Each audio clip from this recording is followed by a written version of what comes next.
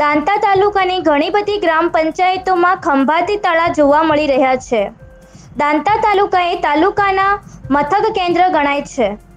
તેમાં કુલ એકસો બ્યાસી ગામડાઓ આવેલ છે અને ગામો પૂરતી ગ્રામ પંચાયતો પણ સરકાર શ્રી દ્વારા બનાવવામાં આવી કે જેમાં મોટાભાગની ગ્રામ પંચાયતોમાં અવારનવાર ખંભાતી તાળા જ જોવા મળે છે અને ગામવાસીઓ હેરાન પરેશાન થાય છે.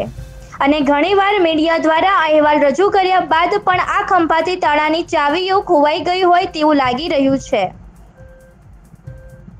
તાજેતરમાં હાલમાં સેમ્બલ પાણી ગ્રામ પંચાયતમાં પણ ખંભાતી તાળા જોવા મળ્યા હતા.